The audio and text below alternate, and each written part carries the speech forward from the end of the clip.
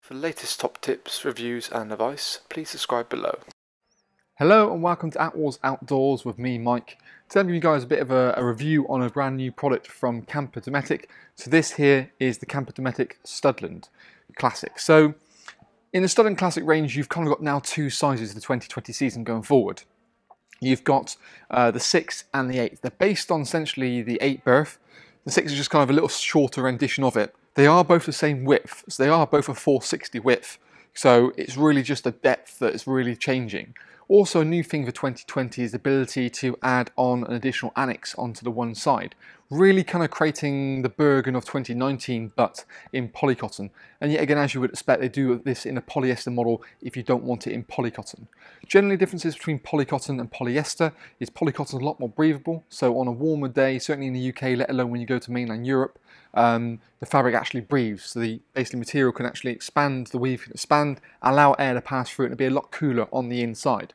On the flip side of that, on a sort of a colder day, the, the weave contracts and keeps the warmth in. So it reacts to temperature quite nicely and it's it's definitely a more comfortable, comfortable environment to be in um, on a mildly warm day in the UK. If you're going across the mainland Europe, then really you should only be looking polycotton just because the, the temperature difference they have over there, uh, really a polycotton is what you want to be going for. Also in terms of a lifespan, the durability of a polycotton model will last longer than a polyester, maybe even two to three times longer. So it's a, a small investment, but more for a polycotton versus polyester. But essentially, you do reap the benefit of that in terms of its lifespan. The other thing to bear in mind as well is essentially that um, it is maybe a slightly bit more high maintenance. So you need to make sure, as always with tents, they packed away bone dry. Reason being is that because it's polycotton, it's got a cotton element to it, so it's more likely to absorb some of the moisture. It takes a little bit longer to dry, so really you want somewhere to pitch this tent back at home, um, or somewhere to spread it out at least to make sure it dries as bone before you pack it away for the season. With polycotton, you've probably got a slightly more smaller window, which you can leave it sort of wet in a bag. We understand with the UK weather that, you know, it's, the weather's so predictable that you could suddenly have a chuck down of rain the moment you're setting away. Thing is, when you get home straight away, get it up, get it aired, get it dry, pack it away, and then it's good to go. You then you preserve the life in it of the model, and it will last you that much extra longer by taking an extra bit of care in it, really. Because really, you know, mold and mildew is the killer of fabrics. Generally, the joys of it kind of takes over from the 2019 version of Studland, but with, like I said, one major feature added on, which is the annex. The annex actually is quite nice because it's uh, a, an optional extra. It's not something that you have to buy initially with the tent. It's something you can add on to it. So there is a now, for 2020 season, additional zip located on the outside, around the outside of this side door here. Unfortunately, if you've got a 2019 model, the annex won't fit for your 2020. But the other thing to bear in mind is if you have got a 2019 or an 18 for that matter, the optional extras that you can get for the front of this with a front zip attachment, something like the front canopy or the mesh vestibule will still fit. So you don't have to worry about rushing around trying to find last year's model. You can rest assured in the website uh, link below for our page, you can still purchase those more than happily.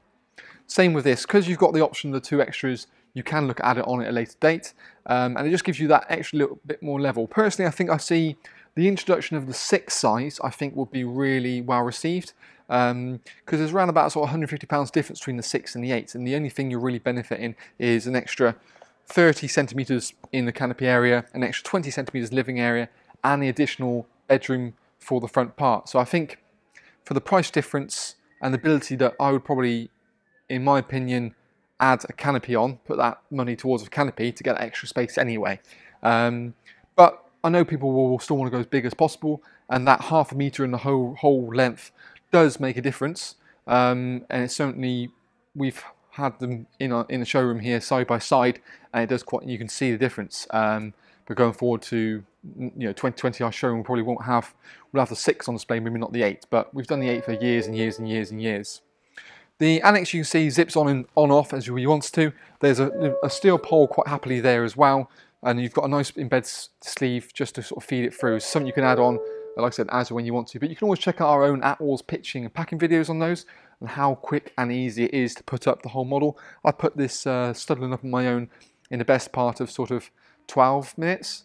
uh, which something this sort of size makes it the perfect idea of going away for a week or weekend because you haven't got the faff of having to chuck everything up.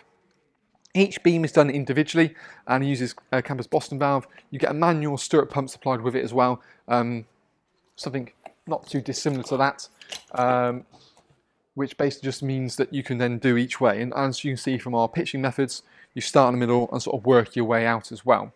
You've got the easy pegging system, so it's a nice sort of storm straps bracing the front, also the back, but also on the sides here as well. So you've got a fixed base point. One single pegging point will actually help to torsion the base, and then you can adjust the actual fabric that way. So make sure you're not over tightening. Generally, that's about the perfect width because it creates a nice triangle formation with the front.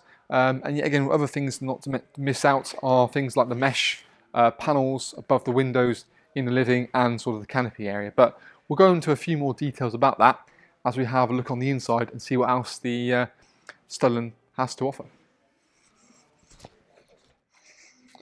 So now inside the tent, you can kind of get a bit more of an idea for certainly the sort of three zones you've got in the tent itself. So you've got a nice big canopy area, a good sized living area, and obviously sleeping area at the back. So we'll work our way from the front towards the back of the tent itself. So as we saw on the outside there is a nice big open canopy, but you've got the ability to zip it up completely. So there's three panels on the front and three door positions. So you can have it sort of a third open, two thirds or fully closed, or alternatively roll all the way back. And every single point there is obviously a nice PVC window like you can see here, but also uh, curtains which are zip up, just to give you that extra level of privacy that you need. Into the section over here, on the side part we've got a nice mesh panel, and really to allow a bit of ventilation into the canopy section as well as, uh, you know, just it has it all sealed up, a good airflow throughout. And that's the same in the main living area as well. And But you've also got a nice big clear PVC window just to get your sort of shield against the elements as and when you require it.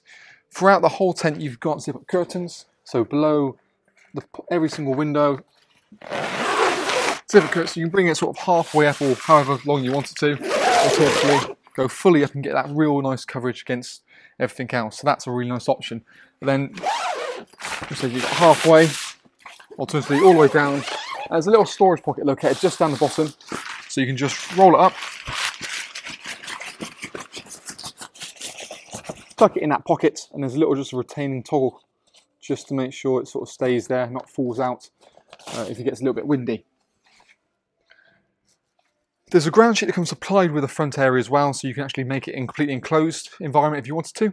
Personally, see the point. I think really you're going to use this as kind of your wet area.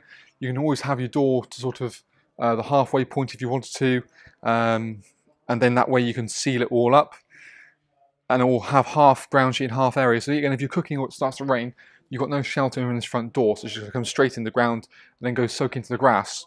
Whereas you have a ground sheet, it's collect on there, and just then this is like I say your kind of your wet area, if you will, muddy shoes, uh, bikes, your cooking facilities you know, anything you can spill doesn't matter, it's going on the ground. Whereas you walk in here, it's your lovely cleaned area. So shoes off before going in. You've got a really nice flat lip, so no lip at all, walking in between sessions, so you haven't got a trip hazard for kids. That was a really nice little feature as well. You've got a mesh panel at the top to again help with that circulation. Even though it's a polycotton tent and it is breathable, um, you still need to sort of nail down sort of a good circulation of, of air inside of here to sort of really help fight condensation. The divisional doors between the sort of awning area and then also the living area can be put back yet again into kind of three uh, sort of different positions really. So you you can, well, two positions actually to be honest. So you can open it down like a little bit like this. Alternatively, this zip will also carry on to the top there.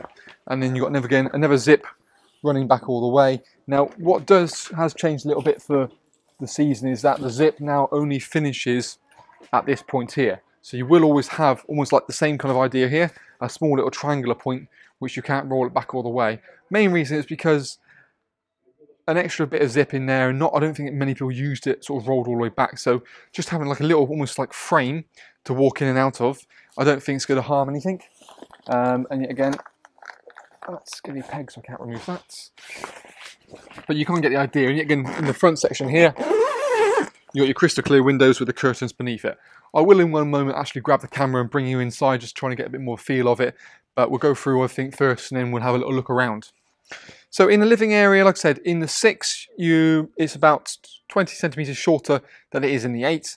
Um, and again, the bedroom, an optional bedroom can put in uh, in the six, whereas it comes with the eight as well. So you can pick and choose between models and check out our floor plans on our website to know the real sort of overall dimensions. I'm pretty sure the Studland 8 is 805 in total length by 460, and then the 6 is 755 by 460 width. So like I said, same width, slightly longer depth. Moving on in here, you've got obviously a really nice cushion carpet that works a little update for the 2020 season. Uh, it's got that kind of little Dometic logo uh, imprinted in it, which is really quite nice. You then, in the sleeping area, you've got obviously the ability to sleep uh, six at the back here, and it's a comfortable six. You're talking a 140, 140, a nice big master, 160 in the middle, with a slightly deeper depth to take sort of those higher uh, air beds or camp beds if you wanted to.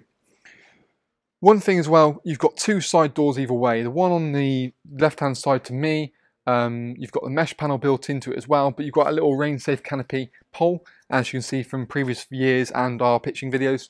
Uh, on the right-hand side, again, you've still got the same ideal, so the same sloping door, but that optional zip around the outside, like I said, gives you that op option of having the annex on or not, and kind of creating something that that's in there with the annex in place is kind of your throwaway. You can use it as a portable toilet, as we've got it situated here. There's a, a, little wardrobe pole you can put in there to cling it up and use it for drying things. Um, you know, you can get a ground sheet for that section. There's, there's lo loads of things you can use that for. Personally, I'd probably just chuck all the bags in there, zip it up, and then it gives you more usable room in the living area. You've got uh, cable entry points located sort of down the side uh, on each end to allow mains hook up inside the tent without having to leave the door open the whole time. You've also got the ability of um, sort of storage pockets built into the front to put things like your biscuits um, or your shuttlecocks uh, all in there. So just de declutters the main part of the tent means it's quite handy.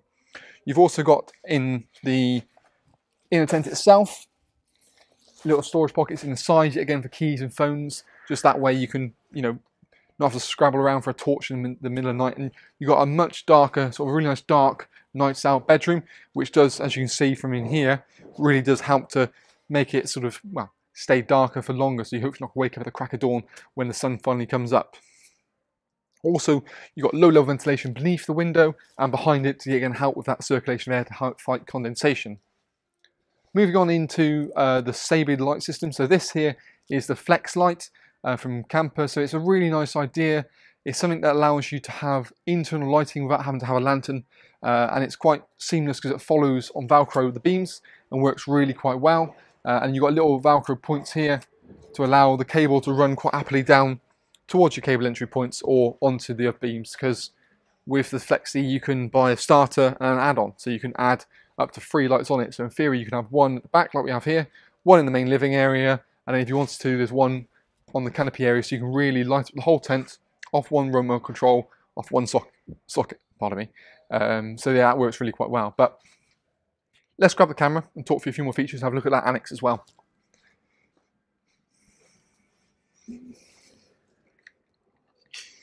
So you've got to get a bit more idea. I will take actually round first before we have a look at annex on the outside. Um, so you've got the windows there, but it's quite smart. Like I said, you've just got a secondary zip and there's a slight overlap as well, just to make sure you can actually, the water can properly shred as it need to. The thing with the zips, are never waterproof, so you're relying on that baffle um, quite happily, but it's no different to the front door. Same kind of premise, there's a nice vent at the front there. No entrance, it's just literally a solid door. It's a solid, sorry, panel when you've got the poles that clip on quite happily. So, moving into sections. As you can see, we've got the little cooking unit set up quite nicely there. Personally, if that was me, I'd probably put on the other side. That way you can roll, because the door only rolls back to the left-hand side. It'd be make use of this little space down here with the window. As we pan around into you can see we've got a nice table set up here, got the breakfast on the table, um, and some food from last week. Uh, then you've got the little doors on the side with a little brow canopy just situated there. So it means you've got a mesh door in place so you can have a ventilation. So if the weather suddenly turns, you've got shelter from that. The darker bedrooms, as you can see, really quite nice. We've got it kind of set up with the mats there. Um, and you've got zip dividers between the sections as well to make it sort of fully uh, you know, sealed in, and that's the extra annex. So you said you've got the option of having on or off, depending. So you're going for a shorter weekend. In theory, you can you don't have to put it on every single time. You can just put it on as an afterthought. Alternatively, if it's me, I'd probably zip it on and leave it on, and it always goes on as one. Um, and then in here, you've got that separate little clips located just in here, uh, and that will put a hanging pole for a you know uh, for using like coat hangers and things like that on it as well. Um, and the same again in the bedroom section. Not that you can see it's so dark. There is uh, a little clip for the pole, the wardrobe pole to go in either side. So you have one on the left hand side or the right hand side. And again, the lighting in the roof does really help to illuminate it. And with the remote control, you can dim it as well. So you don't have to have it blindingly blight, blindingly blind, blind, yeah, blinding yourself in the middle of the night, for that matter. Uh, but yeah, it's kind of a nice model. Obviously, something I think will be a real hit. And I think, like I said before, I think the 6 is going to be probably a strong, stronger uh, model than the 8. But we've got the both options there, as well as the polyester model, which also has that zip annex on. But do check out that uh, separate video. And we also check out our pitching video just to show you how simple it really is. But any more questions, do feel free to let us know. Um, and alternatively, pop into our showroom where we have this on display for you to see in the flesh. So that is our video review on the Kampa Dometic Studland Classic in the 8 and also in the 6.